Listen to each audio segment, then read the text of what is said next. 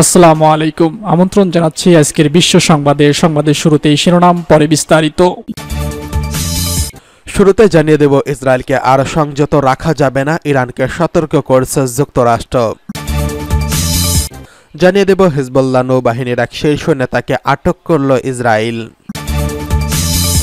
এরপরে রয়েছে মার্কিন প্রেসিডেন্ট নির্বাচন, আগাম ভোট পড়েছে সাড়ে সাত কোটি। এদিকে লেবাননে মানবিক পরিস্থিতি দু সালের যুদ্ধের চেয়ে ভয়াবহ বলছে জাতিসংঘের রিপোর্ট। ইসরায়েলকে আর সংযত রাখা যাবে না, ইরানকে সতর্ক করছে যুক্তরাষ্ট্র। ইরানকে ইসরায়েলের উপর আরেকটি হামলা চালানোর বিরুদ্ধে সতর্ক করছে মার্কিন যুক্তরাষ্ট্র। ওয়াশিংটনের সতর্ক বার্তায় বলা হয়েছে, তেহরান যদি আবার আক্রমণ করে, সেক্ষেত্রে তারা ইসরায়েলকে আর সংযত করতে পারবে না। তার নাম প্রকাশে অনিচ্ছুক একজন মার্কিন কর্মকর্তা ও সাবেক ইসরায়েলের কর্মকর্তার বরাত দিয়ে শনিবার এই খবর দিয়েছে অক্সিওজ নিউজ। মার্কিন কর্মকর্তার উদ্বৃত্তি দিয়ে বলা হয়েছে, আমরা ইরানিদের বলছি, আমরা ইসরায়েলকে আটকে রাখতে সক্ষম হব না এবং আমরা নিশ্চিত করতে পারব না যে পরবর্তী আক্রমণটি আগেরটির মতো সীমাবদ্ধ লক্ষ্যবস্তু করা হবে। প্রতিবেদনে কর্মকর্তার উদ্বৃত্তি দিয়ে বলা হয়েছে, সরাসরি বার্তাটি ইরানি কর্তৃপক্ষের কাছে পৌঁছে দেওয়া হয়েছে। যদিও ইসরায়েলি সূত্রটি বলছে, বার্তাটি সুইজারল্যান্ডের মধ্যস্থকারীদের মাধ্যমে তেহরানে পাঠানো হয়েছে। প্রতিবেদনে ওয়াশিংটন বা তেহরানের কাছ থেকে কোনো প্রতিক্রিয়া পাওয়া যায়নি। এর কয়েক ঘণ্টা আগে ইরানের সর্বোচ্চ নেতা আয়াতুল্লাহ আলী খামেনি ইরান ও তার মিত্রদের উপর হামলার বিষয়ে ইসরায়েল ও মার্কিন যুক্তরাষ্ট্রকে করা হুমকি দিয়েছেন। তিরিশ অক্টোবর টাইমস অফ ইসরায়েলের প্রতিবেদনে বলা হয়েছে, ইরান তার ভূখণ্ডে ইসরায়েলের সাম্প্রতিক আক্রমণকে একটি সুনির্দিষ্ট এবং শোচনীয় প্রতিক্রিয়া দেখাবে। সম্ভবত পাঁচই নভেম্বর মার্কিন প্রেসিডেন্ট নির্বাচনের আগেই এই হামলা হতে পারে। এদিকে চ্যানেল টুয়েলভ নিউজ জানিয়েছে, ইসরায়েলের নিরাপত্তা সংস্থা অনুমান করছে, ইরান আরেকটি ইসরায়েলি হামলা ঝুঁকি কমাতে সরাসরি প্রতিক্রিয়া না দিয়ে ইরাক ও ইয়েমেনে তার শিয়া মিলিশিয়াদের উপর হামলা চালাতে পারে। সংবাদ মাধ্যমটি বলছে, ইসরায়েলের ঊর্ধ্বতন নিরাপত্তার কর্মকর্তা যে কোনো হামলার উৎপত্তি স্থল নির্বিশেষে কঠোর জবাব দেওয়ার হুমকি দিয়েছে। প্রসঙ্গত, ছাব্বিশে অক্টোবর ইরানের তিনটি প্রদেশে কয়েকটি ক্ষেপণাস্ত্র ও ড্রোন তৈরির স্থাপনায় তিন দফায় হামলা চালায় ইসরায়েল। হামলার প্রতিক্রিয়ায় তেহরান ফের ইসরায়েলে হামলা চালাবে বলে হুমকি দিচ্ছে। ইরান বলছে ইসরায়েলে ওই হামলার সামান্য ক্ষয়ক্ষতি হয়েছে এবং কমপক্ষে পাঁচজন নিহত হয়েছেন। তবে হামলায় নিজেদের সব লক্ষ্য অর্জিত হয়েছে বলে সফলতার দাবি করেন বেঞ্জামিন নেতানিয়াহ। এর আগে পহেলা অক্টোবর ইসরায়েলকে লক্ষ্য করে প্রায় দুইশো ক্ষেপণাস্ত্র ছুড়েছিল ইরান, হামাসের প্রধান ইসমাইল হানিয়া, হিজবুল্লাহর প্রধান হাসান নাসরুল্লাহ এবং ইসলামিক রেভলিউশনারি গার্ড কোরের কমান্ডার ব্রিগেডিয়ার জেনারেল আব্বাস হত্যাকাণ্ডের প্রত্যুত্তরে ইসরায়েলে এসব হামলা চালানো হয়েছে বলে জানিয়েছে তেহরান। তবে এসব ক্ষেপণাস্ত্রের অধিকাংশই লক্ষ্যবস্তুতে আঘাত হানার আগেই ভূপাতিত করার দাবি করছে ইসরায়েল। এদিকে হিজবুল্লাহ নৌবাহিনীর এক শীর্ষ নেতাকে আটক করল ইসরায়েল ইসরায়েলি নৌ কমান্ডার শুক্রবার গভীর রাতে উত্তর লেবাননে অভিযান চালিয়ে হিজবুল্লাহর নৌবাহিনীর এক শীর্ষ কমান্ডারকে আটক করছে। সামরিক বাহিনী শনিবার রাতে নিশ্চিত করছে লেবাননের গভীরে তার হত্যাকাণ্ড এবং তার অবস্থান উভয় ক্ষেত্রে একটি অস্বাভাবিক নজরদারি চিহ্নিত করেছে। লেবাননের সংবাদ মাধ্যম জানিয়েছে, ইসরায়েলি বিশেষ বাহিনী সমুদ্র থেকে এসে ত্রিপলির দক্ষিণে বাতরুন উপকূলে অভিযান চালায় এবং স্পোর্ট বোর্ডে করে এলাকা ছাড়ার আগে একজনকে তাদের সঙ্গে নিয়ে যায়। লেবাননের সঙ্গে ইসরায়েলের সামুদ্রিক সীমান্তের প্রায় একশো চল্লিশ কিলোমিটার উত্তরে এই অভিযান চালানো হয়।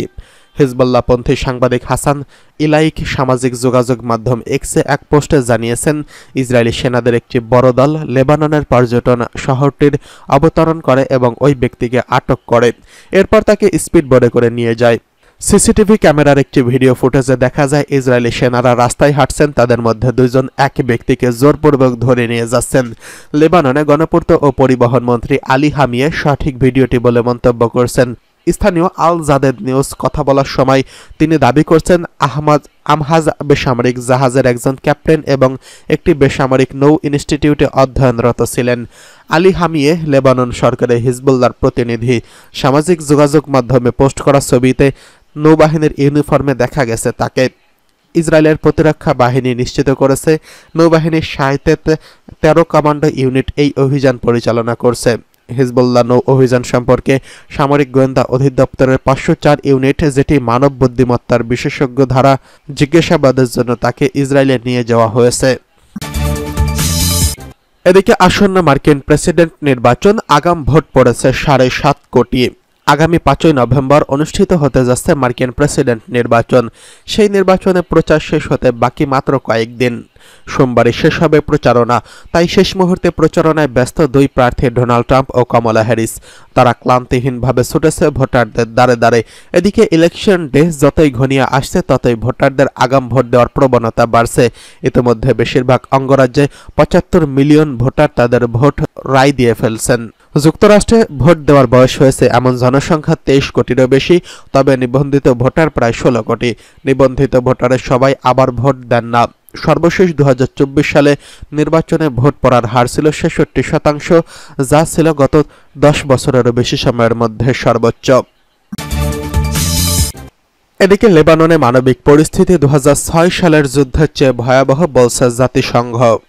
জাতিসংঘের ত্রাণ এবং মানবিক সহায়তা সংক্রান্ত সংস্থা ও ওসিএইচএ জানিয়েছে দু হাজার ছয় সালে ইসরায়েল ও হিজবুল্লার মধ্যকার যুদ্ধের চেয়ে লেবাননে বর্তমান মানবিক পরিস্থিতি ব্যাপক অবনতি হয়েছে। ওই সময় সাধারণ মানুষের যে দুর্ভোগ হয়েছিল তা বর্তমান অবস্থা ছাড়িয়ে গেছে। রবিবার তেসরা নভেম্বর এক প্রতিবেদনে এই খবর জানিয়েছে আল জাজিরা। লেবাননের স্বাস্থ্য মন্ত্রণালয় দেশটিতে ইসরায়েলি হামলায় নিহতের সংখ্যা কমপক্ষে দুই হাজার নয়শো আটষট্টি জন বলে জানিয়েছেন। একই সঙ্গে এসব হামলায় আহত হয়েছেন আরও তেরো হাজার তিনশো উনিশ জন।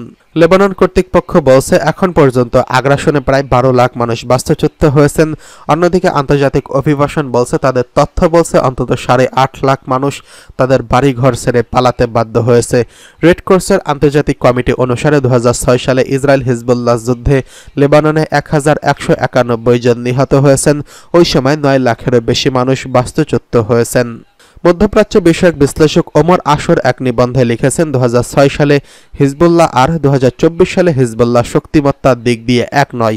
হিজবুল্লাহ এখনকার সামরিক সক্ষমতা যে কোনো বিশাল আকারের অরাষ্ট্রীয় বাহিনী এবং অনেক রাষ্ট্রীয় বাহিনীর চেয়ে শ্রেষ্ঠ। হিজবুল্লাহ সামরিক শক্তির মূল ভিত্তি, মূল স্থল বাহিনী যোদ্ধা ও মজবুত বাহিনী সহ হিজবুল্লাহর মোট সেনা সংখ্যা এক লাখেরও বেশি। হিজবুল্লাহ বাহিনীর শক্তির মূল ভিত্তি রাদওয়ান ফোর্স, এই অভিজাত ইউনিটের জনবল দুই হাজারেরও বেশি।